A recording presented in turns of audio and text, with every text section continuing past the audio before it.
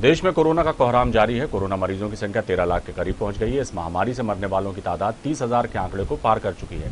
पिछले 24 घंटे में भारत में कोरोना के रिकॉर्ड मामले दर्ज किए गए हैं। गुरुवार को उनचास हज़ार तीन सौ दस नए केस सामने आए। आठ लाख सत्रह हज़ार लोग इस बीमारी से ठीक होकर घर जा चुके हैं। अगर दुनिया भर के आंकड़ों की बात हम करें तो अभी तक एक करोड़ चौवन लाख लोग कोरोना संक्रमित हो चुके हैं पूरी दुनिया में, जिनमें से छह लाख बत्तीस हज़ार लोगों की मौत हो चुकी है।